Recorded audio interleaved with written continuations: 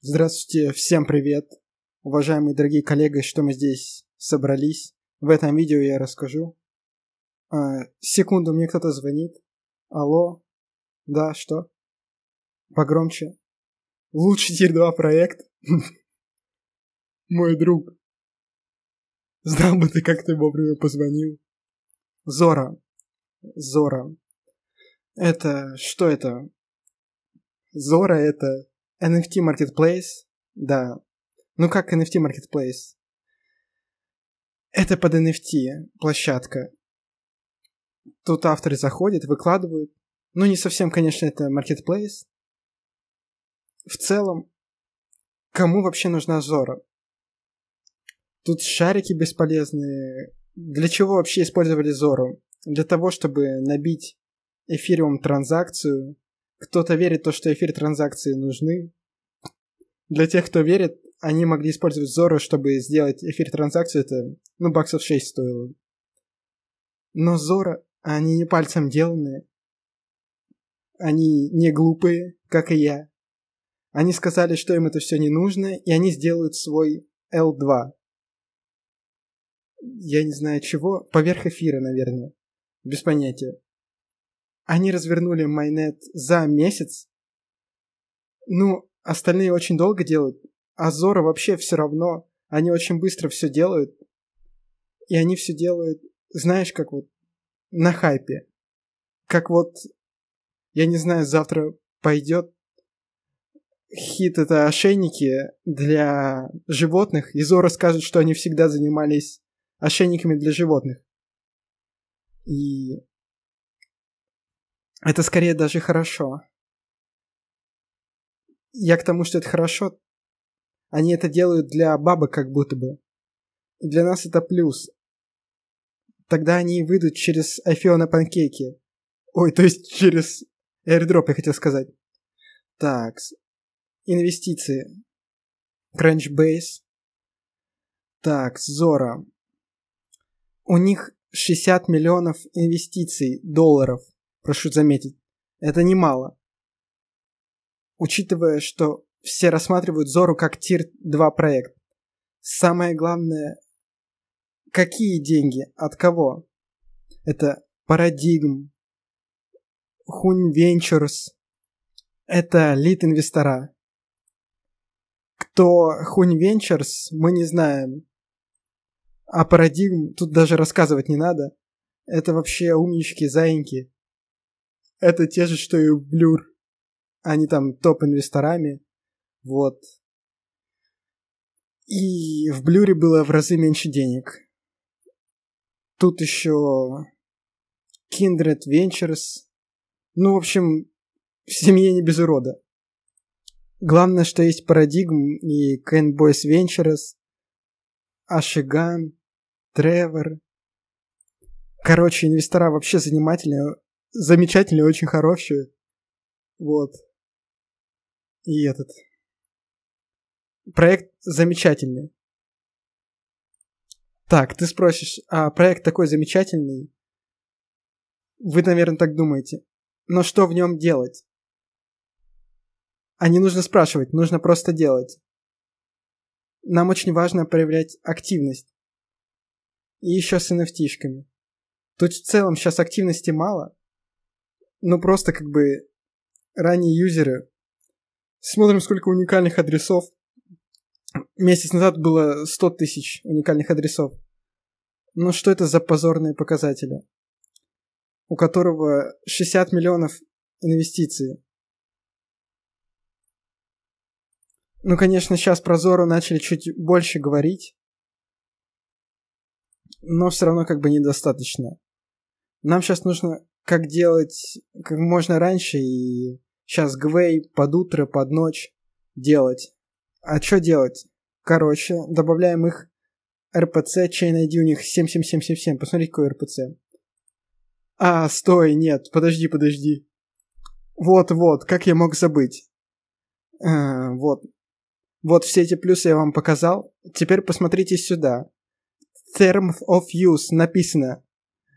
Э, вот правило. Вот, смотрите, пункт Rewards Programs. Тут пункт про реварды, ну, сами посчитайте. И еще. Вот он фаундер. Посмотрите. Кто-то важный. Скорее всего, фаундер. Вот он, банклист. Да-да-да. Посмотрите на его прическу, на его очки. И какая у него идеальная борода. И он не похож на какого-то задрота. Он похож на человека, которому нужны деньги. И смотрите, там доска специально он ее сделал, чтобы там какие-то рандомные слова. Типа он умный, но ему просто нужны бабки. Это замечательно. И вот он отвечает на вопрос про токен. Он просто сказал вроде что-то хорошее. А не забудьте подписаться на мой канал. А так подписаться, комментарий и колокольчик. Все замечательно. А теперь... Такс. Не могу про RPC уже третий раз рассказать. Добавляем их сеть в Metamask. Такс. Добавляем. Но перед этим нужно... Нужен, короче, VPN. Расширение с прокси. Switch Omega Proxy. Тут просто ставишь его на браузер и кайфуешь. Для мультов это антик, но вот это уже сам сделаешь. Также одно прокси на 3-4 аккаунта в среднем. Вот. Прокси с проблем точно не будет. Добавил сеть. Первое, что нужно сделать. Так, вот табличка. Бридж взору. Только из эфира. Нужно... Да. Бридж довольно дешево, не нужно сразу говорить, что это будет дорого. Можно даже переводить по 0,1 соту или 0,05. И на main можно кидать побольше. Вот так вот как-то делаем. Меняем сеть. Газ 7 долларов. Но сейчас в сентябре он, кстати, меньше. Гвей и Бридж только 7 долларов. Ждем утра и все такое. Гвей недавно был вообще 7. Все будет здорово. Где эта вкладка? Не могу понять. Сделали бридж взору, пошли в таблицу. Отметили то, что сделали бридж. Дальше. NFT. NFT на Зоре. NFT запустили в честь открытия L2. И можно ее заколлектить. Но я ее брать не стал, она потому что не бесплатная. Можешь ее минтить в целом как хочешь. Вот, кстати, есть NFT-шка Макс Вайлда. Ее можно взять. Это ничего не стоит. Только комиссия будет. От Зора. Короче, будет лайфхак. Потом я его покажу. У тебя не списываются деньги за газ, и ты экономишь полтора доллара. И это в целом-то хорошо. Можно сменить NFT-шку Макс Вайлда. Вообще, их все рекламят, их особо можете не минтить, но для Макса это исключение. Но вообще, как бы, старайтесь официальные NFT-шки брать. Всякие коллабы с OpenN, гиткоином, лягушки и все такое. Они бесплатные. Вот, минтим. Все остальные у меня что-то есть, гиткоина не было. Смотрим, какой газ. Что нам нужно. Заходим сюда, дополнительное. Ставим на 0.05 1.44. Поняли, да? Так, идем дальше. Сминтили и сразу же в табличку. Тут сейчас мало действий. Просто бридж, взору разбираешь всякие NFT. Не нужно это все в один дело делать. Ты завел бабки через день еще одну NFT меньше, через день еще одну. Но бридж постарайся сделать как можно раньше, чтобы появиться в сети. Только-только Зора начинает хайпиться, постарайся пораньше. А потом не спеша. Так, это что я открыл? Это сайт, который я посмотрел, который можешь посмотреть комментарии, когда минчишь. Зачем этот сайт, я не знаю. Это Discord Зоры. Так, Discord Зоры. Он как бы может вступить, почему нет можно получить роль, если купить вот эти вот nft Но нужны ли они сильно? Ну, как будто бы нет. Они стоят баксов 50. Ну да. как бы, не знаю. На main можете взять, если сильно хочется. Так, что это? Создание своих коллекций. Нажимаем Edition. А, хотя, стойте. А, вот, Single Edition Collection. Нажимаем. Тут все равно, что тебе это нужно объяснять, просто пишешь name, бла-бла-бла, символ рандомный, описание рандомное, медиа, просто рандомные картинки. Дальше прайс просто 0 эфира. Size 1337. Так, число смешное. Дату, число. Можно сеть Зора, эфириум в оптимизме. Мне главное активность сделать. И нажимаешь Create. Вот все в целом. Есть еще лайфхак, как накрутить транзакции через кошелек. Это как раз расскажет мой коллега Михаил Беркут. Нажимаете на кнопку «Отправить», обновляем страничку, Блинский, Metamask лагает.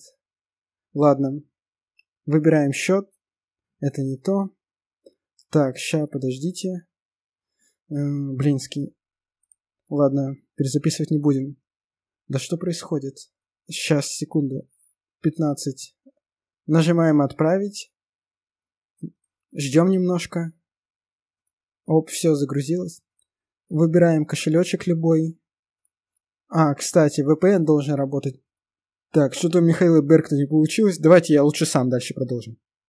Нажимаете «Отправить». Просто выбирайте свой же счет. И тут отправляете чуть-чуть эфирчика на свой же счет. Да, да, да, себе же. И вы себе меняете вот тут вместо 0.05 вы сами выставляете значение приоритета газа. И, и все. И, итого это сумма, сколько я отправляю. Просто транзакции самому себе. Ты не меньше NFT, ничего. Смотрим э, транзакцию в проводнике блоков. И за газ ушло 11 центов. Это сейчас газ высокий, а так будет по 4-5 по копеек. И, кстати, если вы так сделаете транзакции, то они будут засчитываться в сети. То есть вы отправляете на свой кошелек. То есть все хорошо, короче. Если ты хочешь устать, чисто сибильные аккаунты по фану, вот там можешь сделать. Объемы, я сильно сомневаюсь, что тут будут важны. Транзакции как-то по чуть-чуть. Ну, мне кажется, почему бы и нет, почему бы попробовать вдруг сработает. А вот оно возьмет и сработает. Пользуйся. Так, и последний блок. Вроде посмотрела все, уже рассказал, что хотел. Вот, про софты. Так, теперь говорит дофиген. То, что Зора никому не нужно, бесполезный Marketplace, который никому не нужен, но он собрал дофига денег фондом из Силиконовой долины, и теперь они на волне хайпа, короче, по нарративу, запускаются как Layer 2. Чистая кэш-граб, но там много насыпет. Если ты зайдешь на Crunchbase, кто там инвестором, то ты удивишься. Насыпет много, да, много насыпет. И факблог говорит то, что насыпет, и вообще все говорят, что все насыпет. Я тоже считаю, что насыпет. Также, если вы хотите получать крутую информацию, которую собирает более 20 человек, Криптон Prime уже работает более года, там много темок выходит, э, структурные гайды по ним, календари, где все удобно, все видно и ясно, и можно просто смотреть, начинать делать что по рискриварду, сразу много всего. Ссылка на Криптон Prime будет в описании. Спасибо за просмотр. Всем полки. Можете в комментариях написать, как вам видос.